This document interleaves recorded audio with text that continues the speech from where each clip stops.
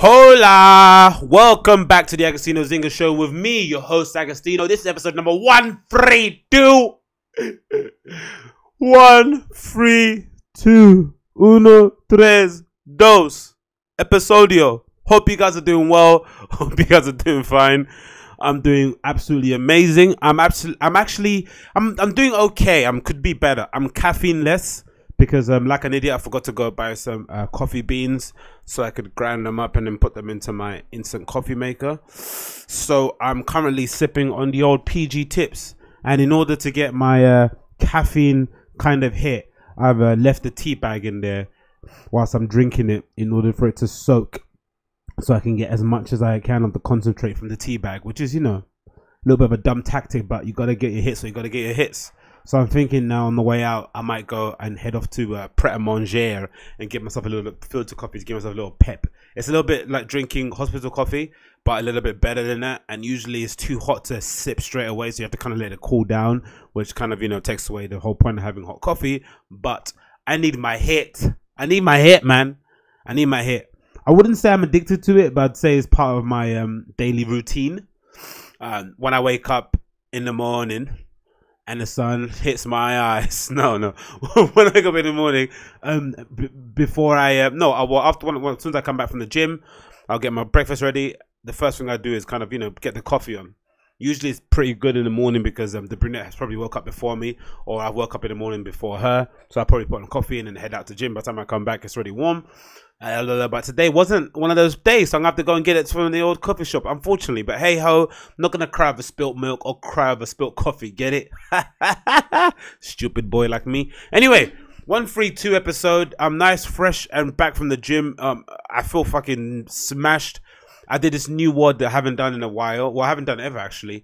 I did a word where it's uh it's for time, so it's basically um you have to do as many rounds as you can so I did five rounds of 20 kettlebell swings with 40 flutter kicks. And if you're not familiar with flutter kicks are, it's the thing that you used to do. I remember I used to do it a lot when I played Sunday League football. Uh, it's that thing where you lie down on the ground and you kind of raise your feet. Um, you lie down on a, you lie down on your back, and you raise your heels up uh, about five inches from the floor, and you point your feet foot, um, towards you know forward basically, and you kind of do flutter kicks. So like up and down, up and down, down really quickly. Um, and I did 40 of those. So I did five, uh, 20 kettlebell swings and 40 flutter kicks for five rounds. Absolutely smashed me, man. Absolutely smashed me. Um, that combination of doing kettlebell swings, the up and the down, and then getting down and doing flutter kicks really, really smashed my abdomen. But I'm hoping that it's gonna allow me to have a flipping ripped abdomen by the by the new year. It's it is I don't know. I, I'm trying to wrap things up a little bit before the new year starts as well. I don't. I'm not a big believer in New Year's resolutions in general. I think you know you just it's there's those things are like uh, primed to fail really you know when you when you make such a big deal out of writing these long list of goals and usually they're not very specific as well. That's the thing i've learned about goal setting. It's not necessarily that goal setting is wrong or goal setting is bad. More the, the main thing that people don't end up doing they don't end up getting specific enough exactly what is the goal that they're trying to achieve. And actually setting some um you know some uh, realistic uh measurements of time that it might need for you to kind of achieve that goal and not thinking that you're going to need a whole year in order to kind of lose a couple of stone. That's a little bit too much time. You can probably set up little um ro- little kind of rope, little um what are they called? Not roadblocks.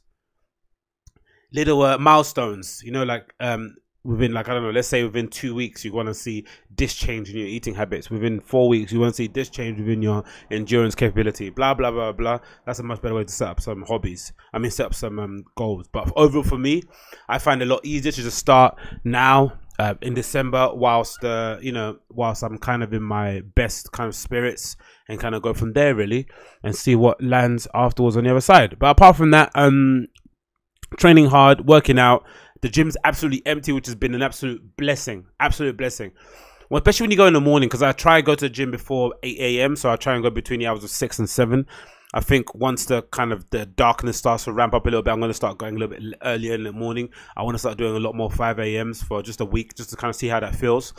Um, but in general, it's amazing going to a gym at seven in the morning, uh, or seven, eight in the morning, because no one's there. Everyone's kind of like at home, or everyone's gone to work, or everyone's I don't know wherever else they're doing.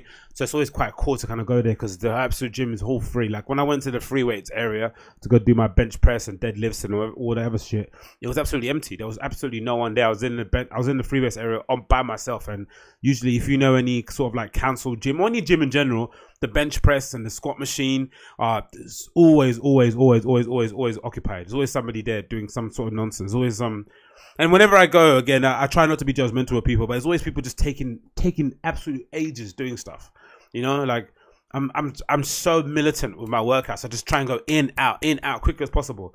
Um, and also I'm I'm big believer in it's not like how long you're in there. It's it's what intensity you're doing those workouts that you're doing whilst you're in there. So what I try to do is I try to like get my songs or music that I want to listen to set up before I even um, walk into the gym doors. I get it all set up. Usually, what at the moment what I'm doing now, if I have a new album I want to listen to, or usually if I'm kind of in a bit stuck in a rut and I don't know what to listen to, I'll just whack on Playboi Carti um, latest album Die Lit, which has been my kind of go-to gym workout music, and just and just hit it on shuffle and let and let it run through. Or and other times I'll just go to my song list on iTunes and just like um, play all my songs and shuffle down on iTunes. And I usually, and usually for me anyway, that's been uh, the much better way to do things as opposed to just, you know, I'm standing on my phone, letting it trying to connect onto Wi Fi, then trying to find the right playlist. And I don't like that one. Then I want to listen to that one. Then log into my Spotify. It's all an absolute madness. So I don't do that at all. And I don't use my phone when I'm in the gym. When I'm in the gym, no phone zone. The only time I use my phone is to um,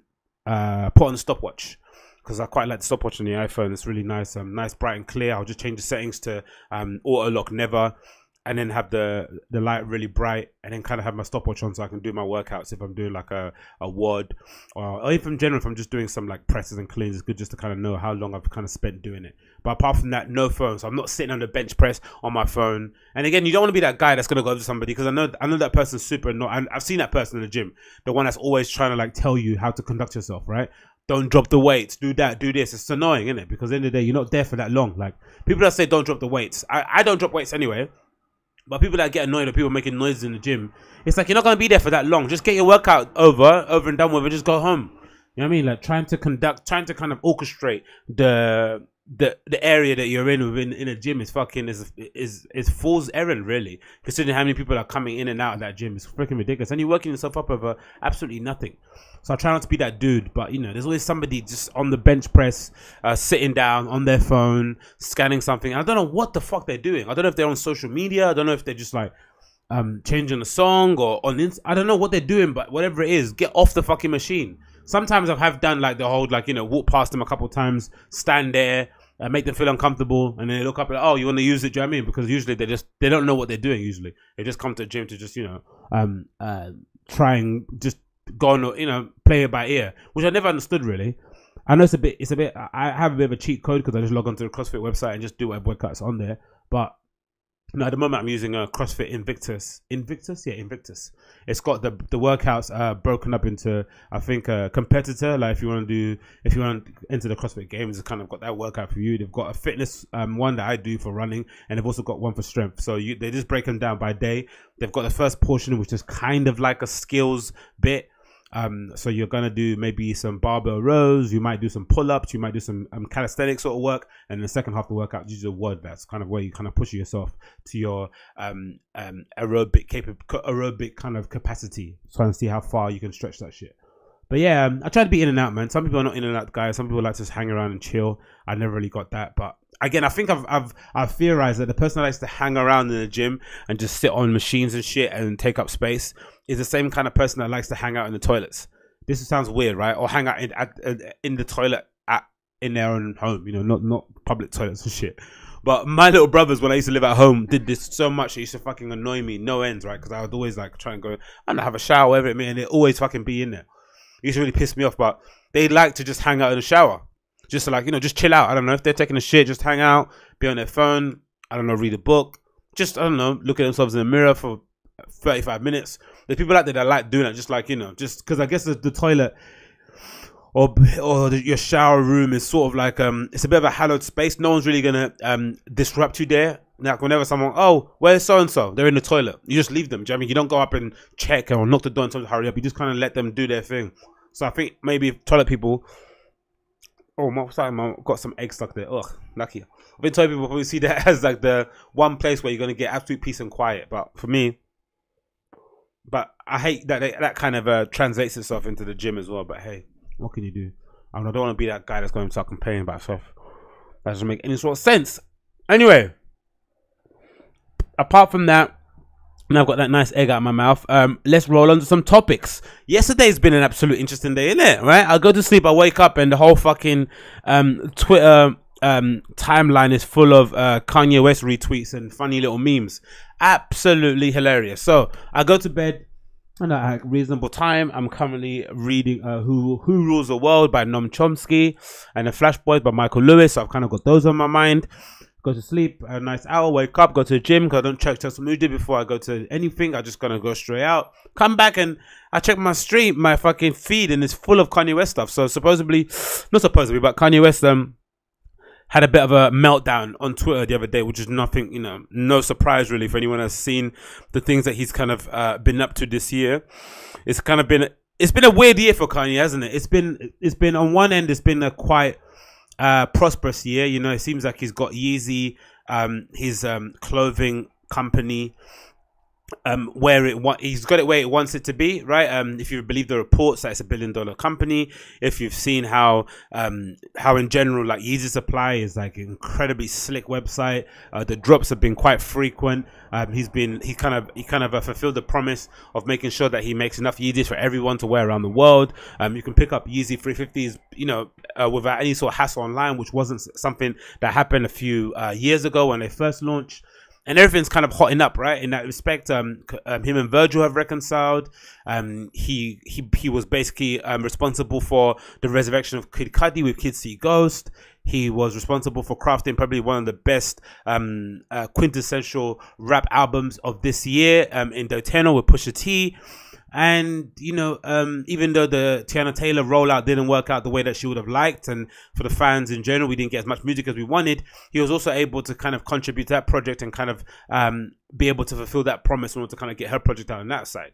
So in some ways, it's been a quite fulfilled fulfilled year for him, and plus the the birth of his child. Like it's been an absolutely great year. But on the other end, um, musically, he's kind of suffered. Um, his political well, musically suffered because you know no one really talks about Ye for the most part. Uh, Saint Pablo kind of has been and gone. Uh, Ye kind of went without causing any sort of um, um, without kind of really causing any sort of shift in culture. Usually, with with Kanye West albums, even if you like them or you don't, they always have a tendency to kind of shift the culture, change the conversation. But that didn't happen with his own album. Um, if anything, the best thing he's done is Kids See Ghost, which is a which is a collab album with Kid Cudi, or you could say it's a Kid Cudi album featuring featuring Kanye West. And the best work he done with Pusha T, which was uh, Daytona, which Pusha T mentioned in a few interviews, was um, primarily due to the fact that he was on top of Kanye the entire time the album was was was getting crafted. He didn't just disappear and come back and hope it was done. He was on top of him the whole time. So the reason why it sounds the way it does. And obviously his political stances haven't really enamored him to um, the the hip hop community on the whole. And then um, the other subtext of it is the continued drama with Drake, which has been, you know, weird to see because we don't really know what the truth is. We don't know whether or not it's the fact that, you know, um, supposedly um, that Scoopity Poop tune was meant to be given to Drake, and supposedly Kanye West then finagled on that promise and released that parody of a song, which then Drake saw as a diss, which came at the same time that uh, Pucci his child was there. Blah, blah, blah, blah, blah. More gossip than I can handle in my own little head. But the interesting subtext to it which I think has been something that hasn't been said too often, is um which anyway let's kind of go back in in chronological order and see exactly what kind of ticked off uh, mr kanye west. And the first thing that ticked him off as we see was supposedly he got a text message it seems like from a guy called free who i'm assuming is someone that's, that's um, part of good music or is part of def jam or something along those lines right? So he's texting kanye to let him know that supposedly someone on drake's side is trying to uh, clear the sample for say what's is it say say what's real? I think it's say what's real let me quickly check it out. Uh, where is it? Where is it? Where is it? Where is it? Where is it? Let me get this up here so I can see. So here we go. Um, so this tweet, right, is um, a tweet from Kanye West, and he tweeted out, "This proves shit's faker than wrestling," right? So, which is funny considering how much he contributed to the whole drama. But he gets a text message from this guy called Free saying Drake sent in a clearance request for "Say What's Real." Do you want to clear? Now, um, this the the backstory to this is supposedly that there's the 10th anniversary of uh, So Far Gone, right? Um, Drake's kind of seminal mixtape. Some might argue his best body of work that he's put together, and um, a lot's been kind of rumored from the Drake subreddit. I've seen that supposedly the 10th anniversary collection is going to be put together. That might include some vinyl. That might include a special 10th anniversary tour. That might include some special new features, a remastered version. We don't know, but it's it's general. They're trying to kind of reissue that um, the whole thing because I think they've got they've got so far was they got so far so far gone on Spotify now and on iTunes, but it's not the full twenty track which I've got, which was released back in the day. Um, it's the full twenty track version of it. I don't think they've got that. I think they've got that sort of condensed version without probably the sample tracks on there. So um, they're trying to release that again. I would assume, um, of course, 10th anniversary and some extra coin in it in uh, the camp of OVO. And um, I guess if you're Kanye West and you've got ongoing beef, this is probably something that is a is a bigger topic. If you've got beef with somebody, but they still have your like I don't know. If you had an argument, if you if I if I lent some Bluetooth speakers to my friend, but me and my friend fell out, or he let me his Bluetooth, can I ask for them back? Or do I just like you know? Or is that it? Is that it? Am I am I am my speakers just done? I'm not too sure.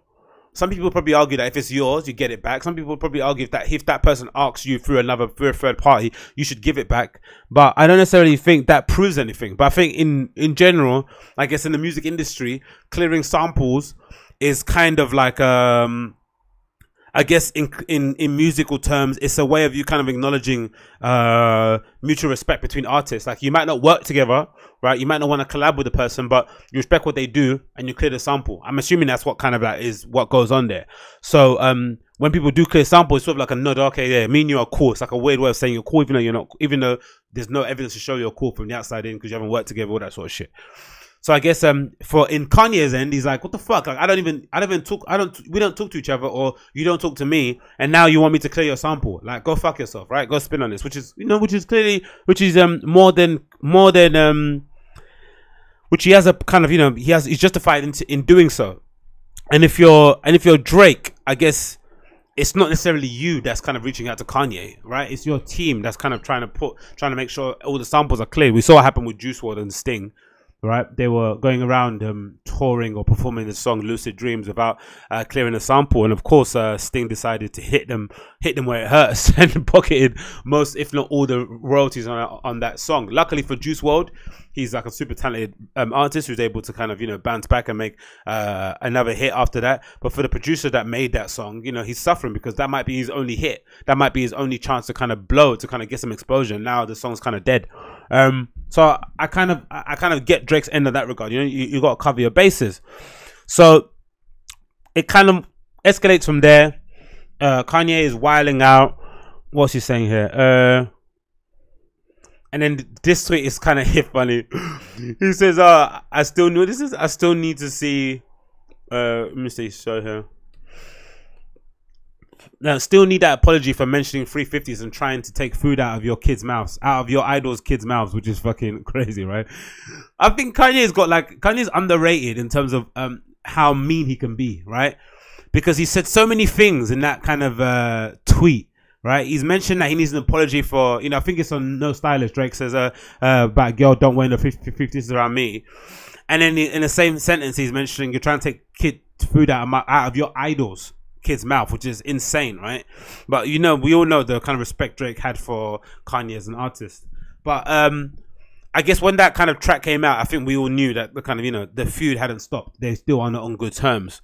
But I guess if you are Kanye, there is a there is a there is a, a an aspect towards this where you kind of do feel like Drake's trying to cancel you, right? Because I guess they've got a personal feud, which I, I which I think, from what it seems like as I'm looking in, it seems if Kanye West doesn't mind them having a personal feud, he just is ob- objecting to the fact that he's being painted as um as a snake, right? Because he just want to leak the news that he, I don't know, just want to pass on info to Pusha T that Drake had a, a, a child in secret, right? And then um, now, kind and now Drake's kind of hell bent in kind of ending uh, Drake's dominance or Kanye's dominance in the footwear industry, right? By saying uh, checks over stripes, by mentioning that the, the girls don't wear the 350s around me, right? He's trying to really pummel Adidas down into the ground, which, which in, you know, which um, in proxy or by association, by default, will then kill Pusha, will then kill uh, Kanye. Um, interesting tactic in general. I think if you're Kanye, you will be a bit upset if you hear that song, especially if it's the most played song around and French Montana is kind of retweeting it every four or five minutes. And I think him and Kanye are meant to be friends. It's just a strange thing. And I think it lends a lot of credence to what Pusha T said in this Joe Budden interview where he was kind of like, you know, ranting and raving or just speaking very passionately about how he's a soldier, right? Like he's the, like, if someone's attacking Kanye, he's going to come out regardless and all guns blazing and attack that person because he's loyal to Kanye West and he doesn't really understand how some other people within a camp are able to work with uh, Kanye's enemy, quote unquote, in Drake, and still be cool with Kanye. He doesn't get how that relationship happens. He says that's not something that he will do, and he does. He, doesn't, but he doesn't understand how they'll do that. But he's not trying to like you know uh, speak for their actions. And it then goes. Then if you extrapolate that a little bit and you look a bit further out, you you see French Montana who's like the friend of everyone. So you maybe can kind of discount him because he's like you know he's like the most uh, sociable person in hip hop, and no one can really say he's, he's anyone's best friend in that regard, right? Um, he doesn't really have any loyalties to anyone apart from maybe his own little camp. But then you look at someone like Travis Scott, who's kind of got you know one of his biggest tracks in sicko mode, and you think to yourself. If you're Kanye and Travis allows Drake to jump on sicko mode and I don't know, quote unquote, sneak this him, and that song is ringing out. Uh, it's playing everywhere. It's one of the you know one. I think it's maybe number two in the Billboard charts or something, or number one now maybe at the last time I'm speaking.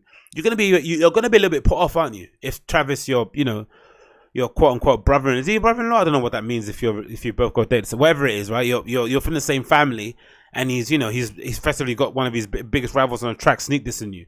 And then if you extrapolate yourself further from the situation, you look out a bit nerdier, you would have seen that prior to Travis Scott album coming out, there was a loads of tweets that he put out. He doesn't. He's not really that kind of dude. Where he, it seemed like he was throwing shade at Kanye. He said he was kind of like you know saying some things that could have been construed as like some things of like, so, oh, don't idolize your idols. Da, da, da, not everyone's as they seem. Blah blah blah. blah. And this was during the time when Kanye was kind of wilding out of his kind of pro-Trump uh, stuff. So there could be something around that. There could be something around that. I'm not too sure if that's actually true, but it could be something in it that now we know that the rumors of Travis uh, not really fucking with Kanye might be true. There might be some truth to it if we kind of extrapolate a little bit. If you kind of link those tweets that he spent, he kind of tweeted ages ago, and if you kind of see what's kind of transpired so far, if you link what Pusha T said about he doesn't understand how some people from the camp can be working with Drake whilst the beef is still ongoing, hmm, doesn't seem too great, does it?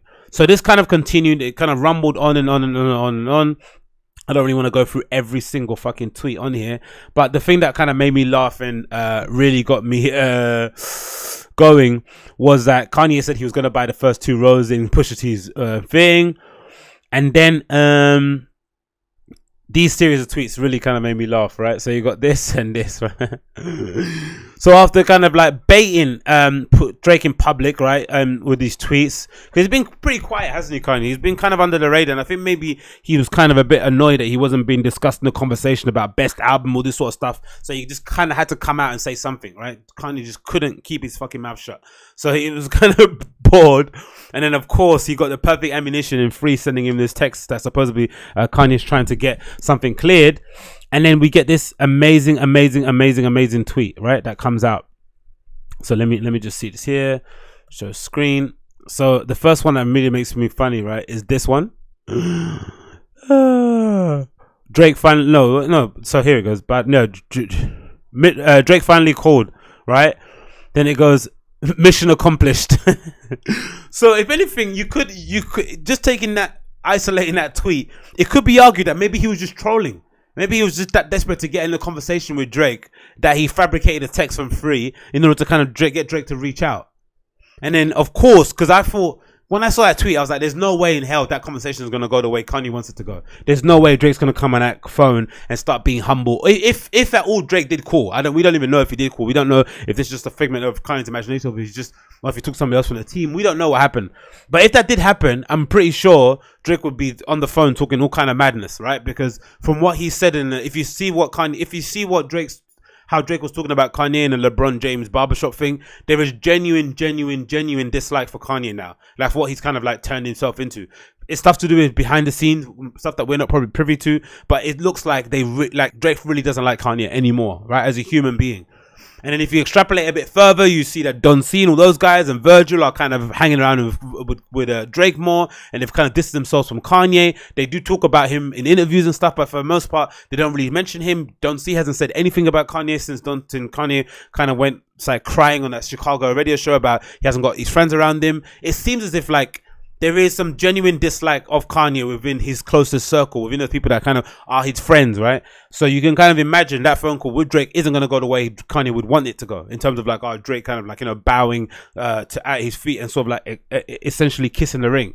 And then, and then, um, so that, make, that makes you think that maybe Kanye was trolling the whole way through. And then the final tweet, which kind of, um, kind of summarizes that whole occasion was this one that says, uh, by the way, not cleared, right? So that effectively, you know exactly what's happening there, right? So that it's just he is effectively trolling, right? So he, he didn't get the the response he wanted. I'm sure Drake was talking all sort of like wild mess on the phone, and then Kanye was like, you know what, fuck you, I'm not clearing. And again, like I said to you previously, I think that is the music industry's way of uh, um uh, if you clear a sample, especially if the person's not paying for the sample, it's a way of like saying we're cool, no worries. You know what I mean? I respect what you're doing, respect the the the the the, um, the, artistry. Maybe you might take a little bit off the back end, but for the most part, you're not trying to take 50-50 or the whole track or the whole royalties like uh, Sting did with uh, Juice WRLD. And then um to make matters even more interesting, right? Because if you know, you know, th these things are even it's always nice to kind of capitalize on a little bit of internet drama and kind of get involved in the muck without, you know, without kind of st uh, staining yourself. I decided, Agostinho, this kind of brave creative soul out here, I decided it was a good idea to uh, create some merch that would kind of, you know, uh, resonate with the Kanye West crew. So I decided to put together this quick little piece of merch that's available now on um on Big Cartel. If you go to Twitter Meltdown, all one word, Twitter Meltdown.bigcartel.com, you can get yourself a bit of Kanye merch. Um, a bit of, uh, by the way, not cleared merch available now for twenty pounds. I thought, why not, man? It's such a funny occasion to do. I thought, why not whack this up quickly and chuck this on the interwebs? There we have it. There we go. Um, you can check that out. I'll, I'll, put a link available in the show description and in the audio link for you guys to check out as well. But it's available right now on Big Cartel. Get yourself some not cleared merch just for the lols, only for the lols. Um, and again, um, the tweets transpire again. It goes on and on and on. Mentions, kind of mentions that that um mentions the the kid that went to the Pusha T concert in Toronto and got fucking smashed to smithereens by security and Pusha's team. Supposedly that kid's on life support um, which is fucking nuts. I didn't know that. I don't again. I don't know if this is true. This is all kind of Kanye's mouth. Kanye insinuates that Drake was a guy. Drake was the one that got that kid um to got that kid to go there and try to assault uh Pusha T the concert, which is fucking ridiculous. Really, someone of Drake's ilk is not gonna go and send some spotty teenagers to go and you know fight his battle. That doesn't make any sort of sense. But again, the the war is getting messy. The war is getting messy, and if it didn't, and if it wasn't getting any messy enough, you know, it's kind of going on and on and on what kind of made really everyone kind of stand up and take notice was the fact that um, Kanye West's wife, Kim Kardashian, decided to kind of get her voice involved too. And she tweeted at Drake directly. They tweeted at Drake and said, at Drake, uh, here's a tweet here, get up there. At Drake, never threaten my husband or our family. He paved the way for there to be a Drake. Jesus Christ. So imagine, um, the one person who this whole beef kind of start kind of this whole beef kind of got a bit messy for was kind was Kim. The whole rumors that supposedly uh, Drake was messing with her on the side while Kanye was going through his nonsense, which is you know a stupid fucking rumor that has probably no basis in fact whatsoever. But the fact that um both I mean the, the fact that um Drake's side Drake wasn't really uh, willing to kind of clear that up and kind of let the rumors roll. Kind of, you know, I'm assuming didn't really go down well with Kanye. And for the most part, Kim's kind of kept her head out of it. But I guess you know, in the Kanye, in a Kim Kanye household, you can only imagine the amount of frantic shouting that's going on around there with this thing transpiring on Twitter. And it's absolute mess of a situation. Again, I think it's a it's a mess to see grown adults, especially people with kids, um, putting out all their business on social like this. It's never something that you want to do. I think you want to carry yourself with a bit of class And I think you know it goes to goes to show, man. Like for all the you know, Jay, we've we've only seen one chink in Jay-Z's armor with that infamous lift situation, right? But for the most part, they've been able to keep um, a functional household under wraps without any kind of without you know revealing the inner workings of their family, without kind of inviting the press or the media into it. Um, very, very, very, very fucking well. And I think it just goes to show just how difficult it is to do. I think there is a tendency for people in the public eye just to always, always have themselves involved in some sort of public conversation, just to keep them their name out there. And it's just an, it's just frustrating to to see to see because for the lows and for the things like there's kids involved there's family members involved that have nothing to do with this there's people um, connected with the camps that are getting involved in this that also have nothing to do with this too who are going to get affected by this uh, flagrant um, disregard for anyone's kind of well-being and safety overall because these little things can just fester so much that they can kind of carry they can kind of build and build and build up into a moment where something real will happen and i think the pusha t uh, toronto thing is a good example yes drake was not um, directly responsible for that kid going up on stage and doing what he did. But that whole energy, the whole out, um, you know, the beef in general, how it transpired, the bad blood between them, uh, the fact that both fans both sets of fans are in- incredibly Stanish on the Drake side and the Pusha T side. It only made sense that if that happened and if Pusha T decided to go forward with his date in Toronto, that there would be a section of the crowd who would take upon themselves to kind of back their dude, which is fucking cringy as fuck. If you don't know who Drake, if you don't know Drake personally, and you're going uh, to a Pusha T concert, paying your hard-earned money, queuing up, buying a drink, and then deciding to go throw it at an artist, you're a fucking loser, regardless. But it can't, you know, it's no surprise that all that energy is going to kind of lend itself to the situation that we're in now in general, everyone looks like a loser. I think here, Kim looks like a loser, Kanye looks like a loser, Drake looks like a loser. Everyone looks like losers. The quicker everyone kind of goes back to concentrating on music and doing what they do best in this industry, the, the better for everyone in general. Um, and I can't wait until it's over. Again, it's a fucking amazing end to the year. I think for the memes. Uh, by the way, not cleared. I think it's gonna go on and on and on. And um, uh, Kim Kardashian effectively copying and pasting her husband's tweet and then adding it to Drake is fucking hilarious. Uh, uh, the fact that that whole Jenner household um, is essentially, you know, in Drake's pocket in some regard. There, you know, you're seeing videos of so and so members like playing Drake songs. It just must be. It's just such a shitty, mess, shitty, uh, tacky situation. I don't even know where to begin. But anyway, that's that's it for me in general. It's kind of giving me a headache speaking about it overall, and that's half an hour of my life I've wasted. Um, but yeah, anyway, um, onto some topics that are actually of use and has some sort of substance to it. Um, let's go to my docket and see what I've got there. Uh, Oh, update on the Gosha. So Adidas are supposedly investigating Gosha Rubchinskiy. I'm not gonna say ooh because you know people's livelihoods on the line and shit. So I take that back and ooh.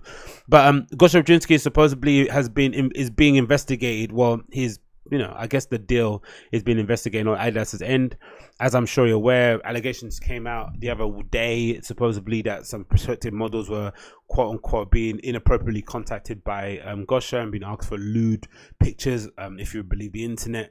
But then Gosha's side um, came out and kind of justified the fact that you know, in order to scout these models on social media, he needs to be on social, he needs to be on these social media platforms um, in order to kind of communicate with them. And the story rumbles on. You don't know who to believe, really. You don't know if uh, Gosha is being a nasty guy. You don't know if the kids are reading too much into it. We don't know if the kids are being too naive and allowing themselves to be communicated by this dude. Who the fuck knows what's happening? But what we do know is that something is gonna hit the fan. So uh, supposedly, uh, Adidas are now getting involved too, and they're now investigating their partnership with Gosha Rubchinskiy. Um, this is an article from uh, Sole Collector. Adidas says Adidas says it's looking into claims against Gosha Rubchinskiy. Uh, Adidas has issued a statement um, which I don't think you actually read the actual statement. I, I think Socrates just connected them and contacted them, and they've kind of relayed it back. But it says here, Adidas has issued a statement in regards to recent allegations made against Russian streetwear designer and frequent collaborator. An Adidas spokesperson has told Sole Collector that the brand takes any allegation of and uh, of this nature extremely seriously, and is currently looking into the claim that has been made. The fair four-year designer of his label has been recently accused of sending product to measure 16-year-old boy. So yeah, um, so now we know Adidas is getting involved. So um again, I think he shouldn't. He should be. He, should be um, remain innocent until proven guilty. I think we should allow this to go through the court of law if something, or you know, go through the the um, necessary channels to kind of ascertain whether or not this is um, right or not. I don't think he should be uh, pillared. Um, you know, wrongfully in public just because, you know, it does come across. I know on optics wise, it does look really nasty. And I'm sure there's probably more people going to come out of it. There's probably more evidence that I probably haven't seen just yet. But hopefully we kind of get to the bottom of it in general. I'm not sure if the community, I'm not sure if the, if the scene will cancel Gosha anyway. Will kids stop wearing a thing just because um, Adidas cut ties with him. I'm not too sure if that's actually correct. I'm not sure if um, the brand will stop operating if he does get if it if it does come to uh, light that some that he wasn't properly contacting them.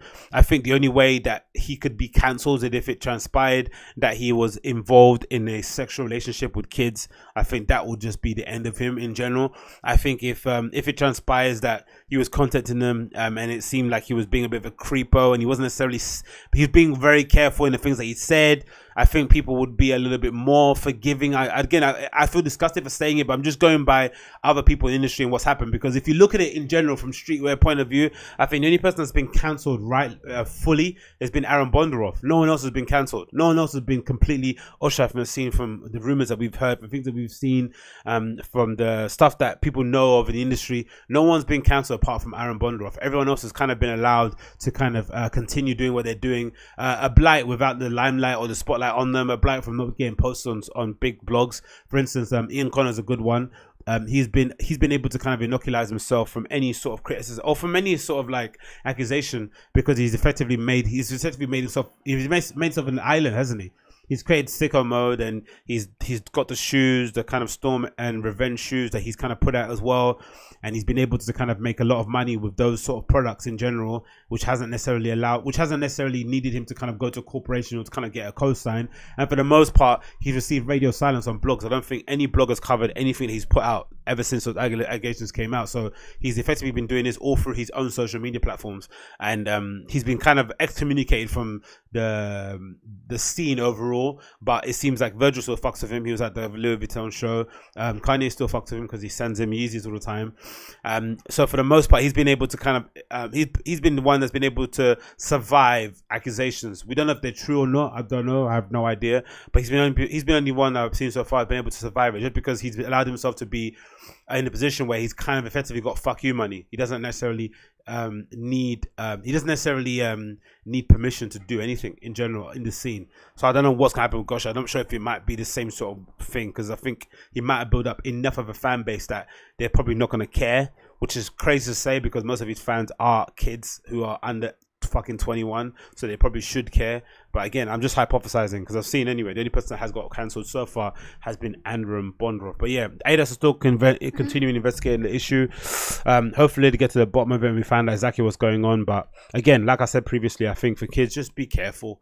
Just be just use your street smarts. Um, don't go into these relationships or these opportunities to kind of represent brands. Um, head head first kind of use your head first. Um, speak to your parents. Even though they don't understand the scene talk to them about where you where where this agency wants you to go to do a shoot or whatever it may be don't do things in hiding like i used to do like you know because oh they're not going to get it and then you get, get some situation that you can't get yourself out of uh, just use your head use your head use your head and again let's stop with the hero worship man um these people that you hero worship, you never know what they're doing behind closed doors. So let's allow that.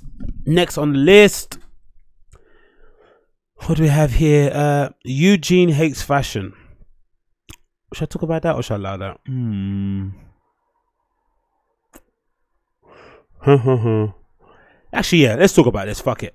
So, Eugene Rabkin um, I made a video about him previously. He's the I'm he's the head honcho at Styles at Style Zeitgeist, a very popular kind of avant-garde uh, fashion platform and forum um, during the time when Superfuture and Fifth Dimension Forum and a few other places were kind of dying, um, so Style Zeitgeist was still the place that a lot of people that are kind of fans of Ann Demeulemeester, Rick Owens, and that whole um, kind of like goth ninja look was still posting fit, still posting pickups, still posting like sale notices and shit. It was kind of a thriving community. So it's sort of it sort of survived the um the advent of Instagram and all those places because a lot of people that were on forums are now just posting their fits directly onto Instagram or they have like kind of places they kind of uh, pages they sort of follow on there. So for the most part, it's sort of like made forums redundant and also the kind of uprising of uh, Facebook groups and like pages is also kind of um, relegated um, forums to the kind of never regions of the internet. But for the most part, Zyka has been able to reinvent itself. They've now got a magazine. They've got a pretty popular uh, website where they kind of post op-eds and opinion pieces. And one of the most for and the most opinion people, opinionated people on their platform is the head honcho Eugene Rabkin, who I've kind of always had a little bit of a love relationship with. I kind of appreciate his passion. I appreciate his dedication. I appreciate how highly invested he is in fashion overall. I appreciate his kind of honest takes on collections, especially um, when he's in Paris and and there's you know and there's this kind of um, hype train going along for a certain designer. He's always somebody that you can kind of rely on to kind of give you the actual realness of what's actually happening. Um, I appreciate that whole malarkey, but there is something about his disdain towards what fashion has become nowadays and you know it's no it's no coincidence that he starts to hate fashion just when the fashion voice the voices in fashion are changing away from the kind of conventional went to a fashion school look like a certain way speak a certain way. Like it's moving away from that and it's kind of um you know as as i've mentioned a few times it's sort of like within this uh streetwear uh, bubble or underneath the streetwear cloud at the moment everything's kind of been influenced by brands are taking inspiration directly from the quote unquote streets, which everyone should be doing anyway, because if you take inspiration from things that are around you. But it seems as if like his disdain for that kind of current trend and the people that are now being championed behind it has I don't know. I won't show. If, I'm not sure if you'd call it racial overtones. I'm not sure if I would go that far to say that. But there is something about his kind of criticism about that kind of rankles me that kind of rubs me out the wrong way. And he recently put an op-ed out um, that I don't necessarily agree with in any way, part or form, but I kind of wanted to share it and just kind of get it out there and see what else other people think about it.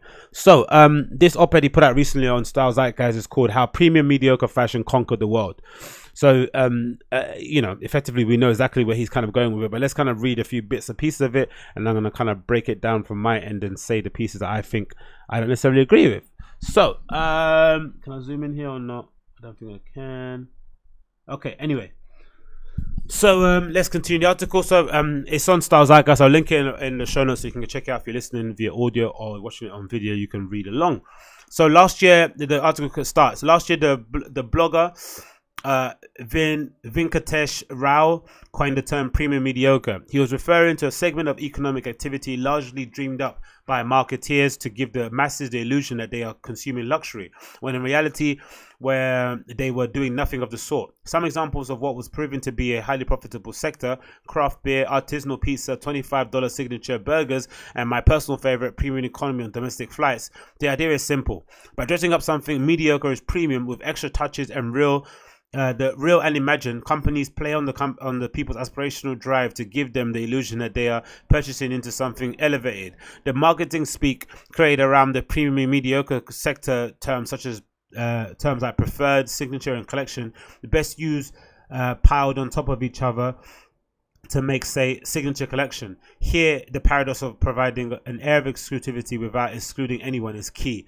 And again, I, I take umbrage to this point, especially the, the point about the um, premium economy flights. I don't think anyone that's um, going on a premium economy flight is under any illusion that they're kind of getting some sort of uh, luxury treatment from fucking Ryanair. If anything, it was more so um, an incentive. It was more so an incentive to Ryanair to just make more money and to also make sure that there's not as not not as many long queues as, as there need to be, unnecessary long queues. If you go on any Ryanair flight, for the most part, the queues are insanely long.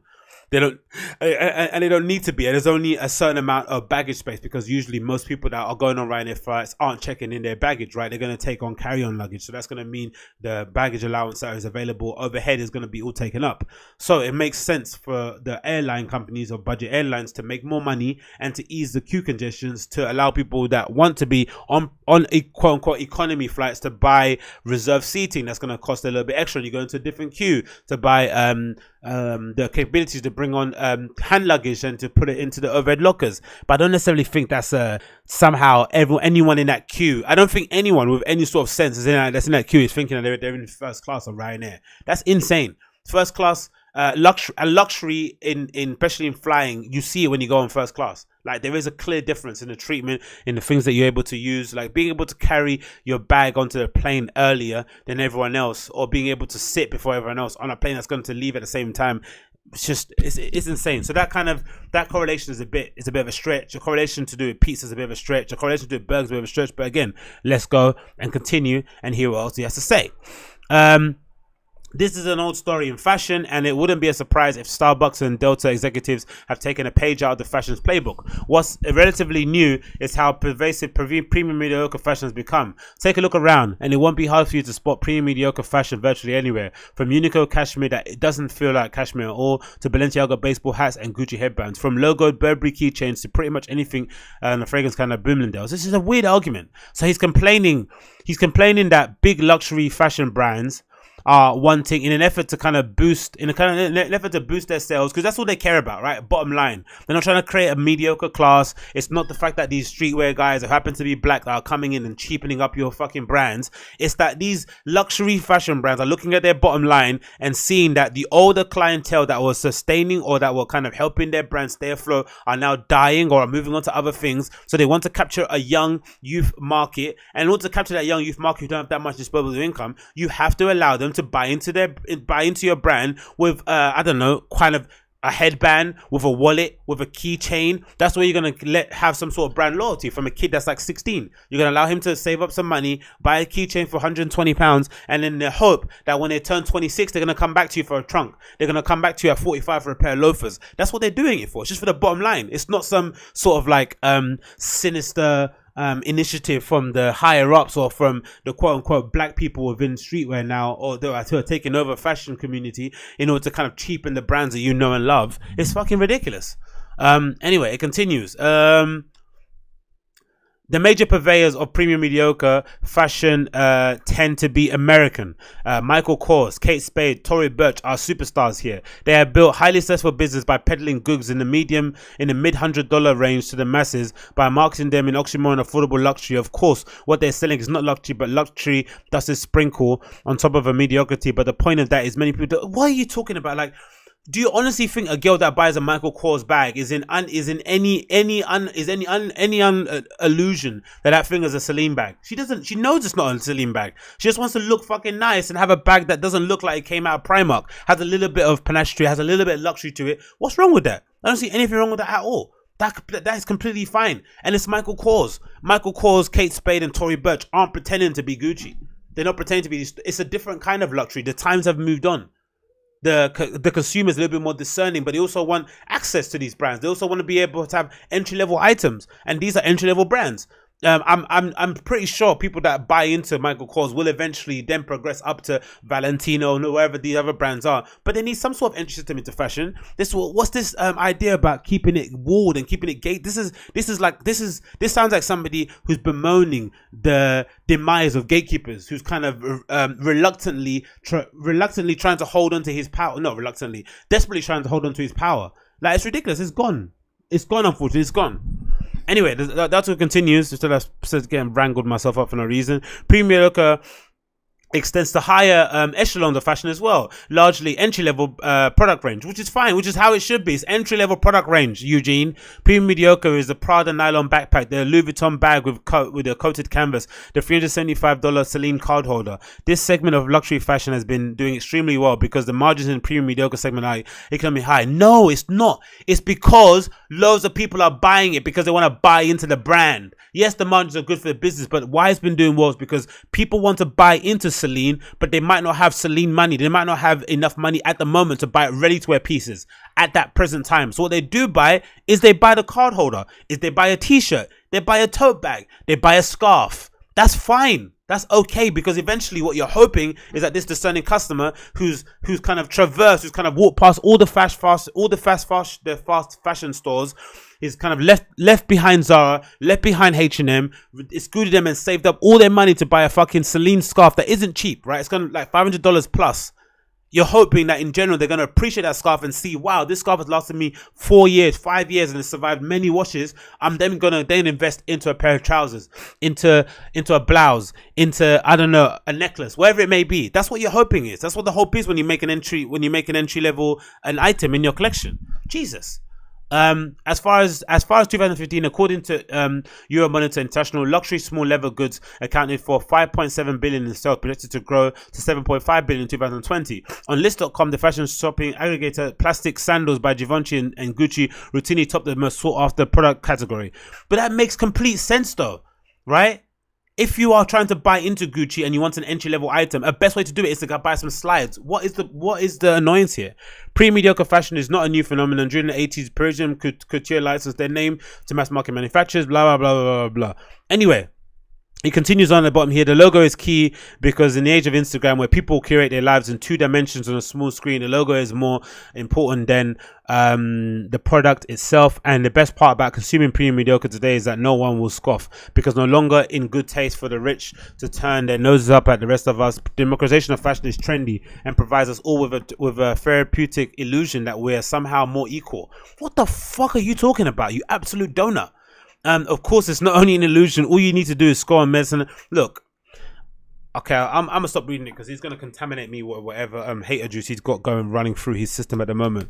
Eugene's a hater. That's basically it, man. Eugene's a hater. He, he's he's one of the fashion um he was one of the fashion gatekeepers, and now he's seeing that his influence has is kind of dwindling. He's seeing the conversation within the fashion community is shifting away from his kind of artisanal uh, go to fashion school, study under um, a very storied house, and then kind of reach and then kind of branch out and do your own thing. He's seen that kind of narrative is sort of kind of dying down a little bit. People are coming from various different backgrounds into the fashion industry and are taking over big houses or are, do, are, are getting really big jobs at the moment or are getting massive cosigns, and it's really really pissing him off. Um, he's a little bit of a cynic. Um, I guess he's a little bit um what's that word called embittered about where the direction of the fashion is happening where it's going at the moment and I, and I understand it i understand it being a lover of fashion i get where it is but i i would implore anyone that has that kind of thinking just to kind of look at it on the bright side and see that the democratization of fashion is amazing because it's allowing all of us that are interested in fashion to buy into it, to be able to attend a show. The democratization of fashion means that big fashion brands are live streaming their fashion their, their fashion shows, um, their runway shows in Paris, especially the most the the the, the place that I kind of keep my eye on for the most part. When I was back in Canning Town reading uh, Sunday Times style magazines in the comfort of my home, desperately trying to uh, envision myself uh, taking part of in fashion, being involved in that community before I knew about all the nonsense that goes on in it. But when I was dreaming about getting involved, I would have loved to have been able to have a live stream of a Saint Laurent show. I'd have loved to be able to see a live stream of a, of a Dior Homme show where Hedi Slimane was there. But it wasn't it wasn't something that was happening at the time because fashion had not been democratized at that moment. It wasn't where it is now, where it's part of the general conversation. So democratization of fashion is allowing kids nowadays to be able to have access and see runway shows in their full glory from the comfort of their own home, which is then inspiring them to create their own little fashion moments or their own little fashion collectives or their own little fashion communities within the industry that within the place that they live in now. It's an amazing time to be a fashion enthusiast. It's an amazing, amazing time. We have access to some of the biggest and best brands. We have some of the best talent that are now kind of getting involved in fashion because there's so much money involved in it now that kids actually see themselves, see a career um, long lasting within the industry, which wasn't something that would be said a few years back. The, the, the people that were getting paid the most were the ones that you saw in front of the uh, in front of the camera screen. But now the people behind the scenes are getting paid, if not as much, if not more than the people that are involved in uh, that that are in the front, such as the influence, what it may be. Look what's done to the influence. Allowed a whole generation of people who have been blessed with good looks, blessed with good style, to make money from just wearing cool outfits. That's fucking amazing. That's so cool. Re- research and research and development uh, departments for brands are now able to kind of put out pieces and give them to or see them out to influencers in order to kind of gauge what piece is going to sell, what piece is not going to do well. They're able to do um, interesting launches. So the pop pop ups in terms of launching stuff online. Like some cool stuff is happening right now with fashion that is far away from the kind of cynical end. If you look at from the Eugene Rabkin side of like, oh, look at all this stuff, logo driven, all this stuff, whatever. Who this is amazing. All brands that are all the brands that he mentioned, the Gucci's, the Louis Vuittons, the Celine's, whatever they may be. Yes, they have uh, some logo heavy pieces that are particular uh, permanently aimed at people who want to wear things on Instagram and have it photographed and stuff. So photographs, well, that's fine. But for all the logo heavy stuff, there's still many many pieces in fashion collections that you can get that have no excessive branding on it that you can just wear that that are good pieces in general. And just because it has brand doesn't mean it's bad. If it has branding on it, you don't like it. Just don't buy the branded piece. I'm a big fan of Supreme. I have been since the since I've kind of discovered Supreme in I don't know in 2003, whenever it was when I first um, happened to stumble upon the brand. Nowadays, uh, you never see me dead in the box logo. I'm not gonna wear a, a jumper with, with uh, Supreme inscribed on the front of it or whatever. But there's still many pieces within it within the collection that I can be a fan of and buy.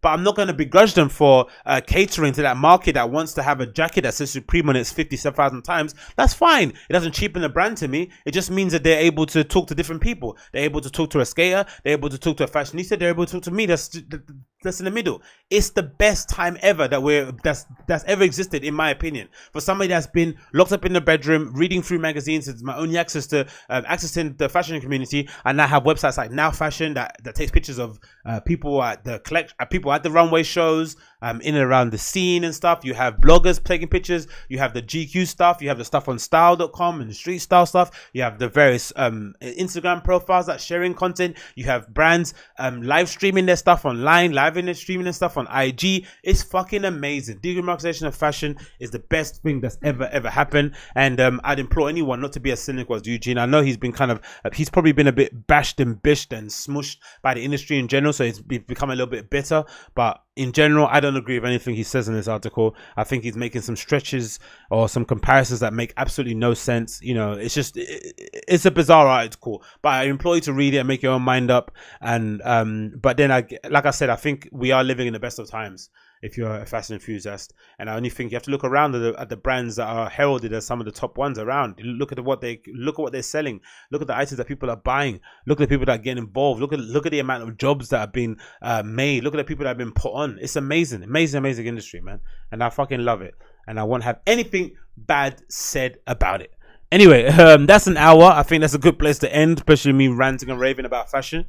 Um, as always, thanks so much for tuning in. It's been amazing as always. Um, I think this is where we like I took my hat off three podcasts in a week, I think is probably enough. My mouth is a bit dry at the moment. Uh, thanks again for tuning in. It's been amazing. It's been a good little journey. I'm gonna see everyone again on I think next no next week. I'll be back again for another episode of the Agostinho Zinga Show.